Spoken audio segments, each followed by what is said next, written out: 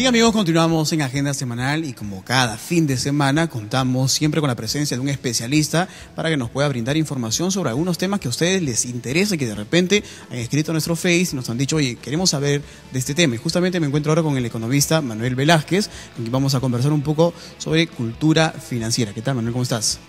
Bueno, muchas gracias por la invitación y, bueno, gustoso de responder todas las preguntas que vayan surgiendo en esta entrevista. La palabra es clave, ¿no? Cultura. Eh, estamos hablando un poco de cómo es que actúan las personas eh, en cuanto a endeudamiento, a temas crediticios. ¿Cómo ves tú ese panorama? Eh, bueno, hay que, hay que considerar que es un tema de cultura, pero que previamente tiene que haber una educación.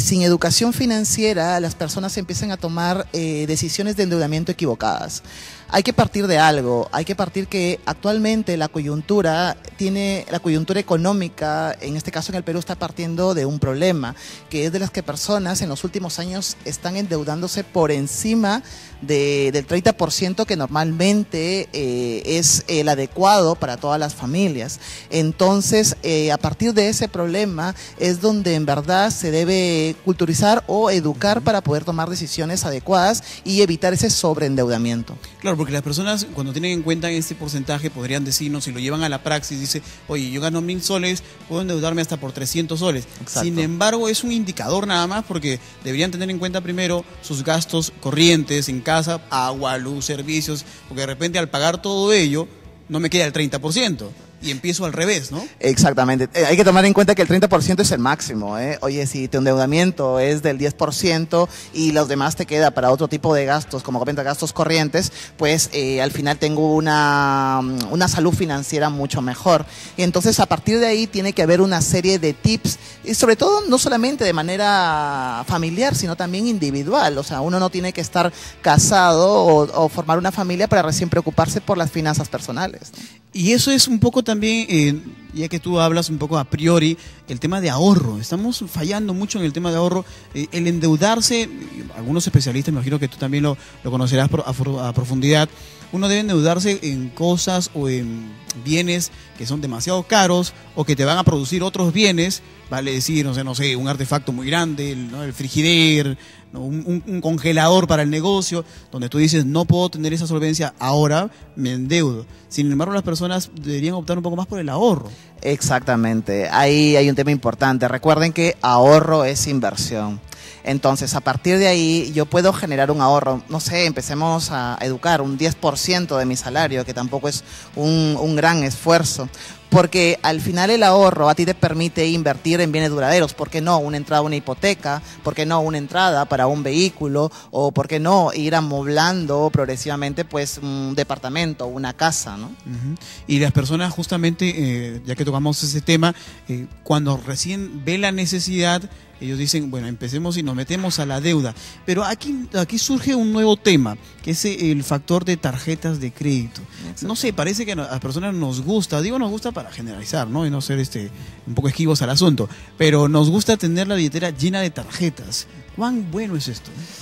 no es muy bueno. La verdad que eh, últimamente en los últimos, la verdad que la tarjeta, el dinero de plástico, como le llaman a la tarjeta, la verdad que a las personas hace sentir eh, mucho mejor, eh, sentir que tienen disponibilidad del dinero, pero no saben que eh, las tarjetas tienen tasas de interés muy altas, ¿no? Y, más aún si con la tarjeta de crédito intentas disponer de efectivo, ¿no? En un cajero, lo cual tiene un coste financiero por encima del 80%, ¿no? Y mucha gente lamentablemente no lo sabe. Y entonces, ¿Qué pasa? Muchas veces del 100% y... Exactamente. ¿Qué más o menos si lo traducimos esto a dinero, ¿cómo? danos un ejemplo.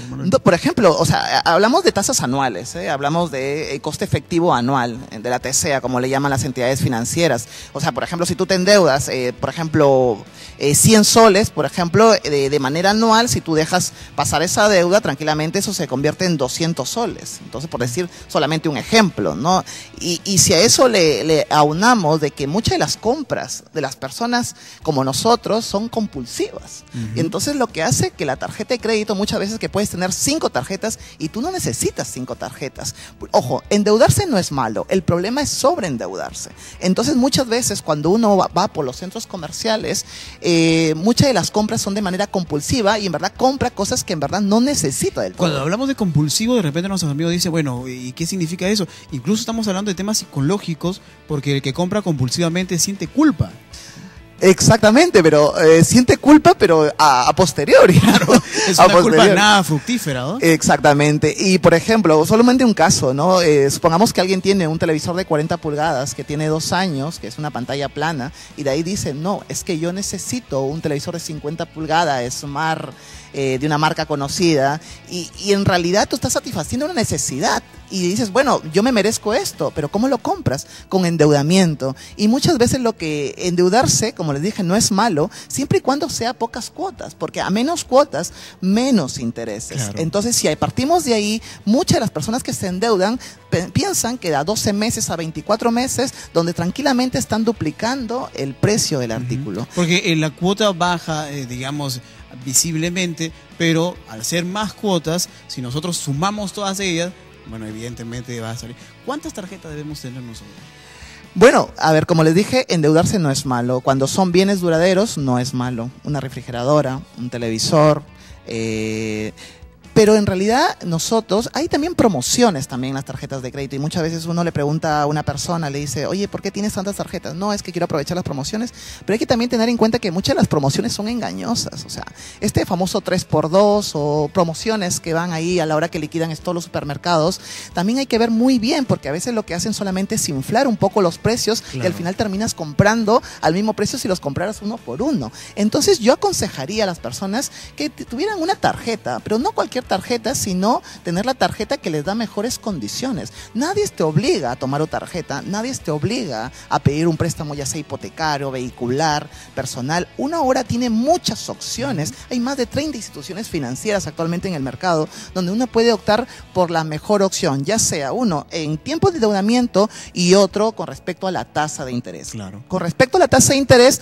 verificar uno que cuando uno pide un crédito, verificar la TCA, que es el coste efectivo del crédito, porque no solamente la tasa de interés, sino también son aquellas comisiones, seguro de gravamen y todos esos adicionales que en verdad se ven reflejados. La gente a veces, eh, con poca cultura financiera, se emociona cuando le llega los estados de cuenta a casa sin saber que le están cobrando en algunos casos 10 soles.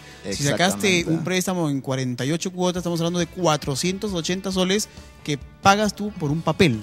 Claro, no, y uno dice que son 10 soles, que son 7.50, pero cuando ve el global, porque un crédito personal, por ahí uno se endeuda, yo también tengo un préstamo personal a 36 cuotas, y uno sabe, y es tan fácil como ir a la entidad financiera, acercarse al sectorista y decirle, ¿sabe qué? Yo no necesito que me envíen de manera impresa mi, mi estado de cuenta, sino quiero que le envíen a mi correo electrónico. Y automáticamente tu estado de cuenta aparece cero en vez de 10 soles, que al final, si vemos el global, sería un dinero importante. Y, es un mero trámite, ¿no? Y porque es gratuito, no tienes nada más que hacer, ir y dejar tu, correo electrónico.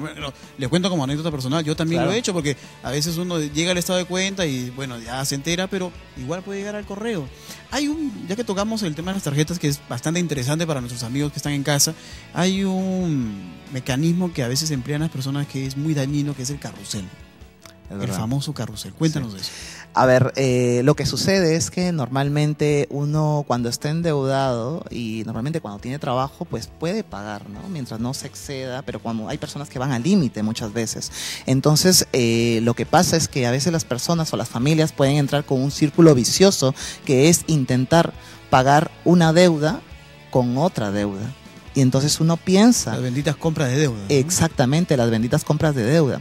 Pero claro, eh, lo que pasa es que hay que tomar en cuenta que uno puede negociar. Por ejemplo, uno puede tener, por ejemplo, un crédito hipotecario, un crédito vehicular, un crédito personal, por ejemplo. Entonces, si en ese momento, en esa coyuntura, eh, una de las partes, ya sea el esposo o la esposa, se queda sin trabajo, entonces eh, lo que sucede es que no pueden de repente llegar a pagar esa cuota y ahí necesariamente tienen que hacer una compra de deuda.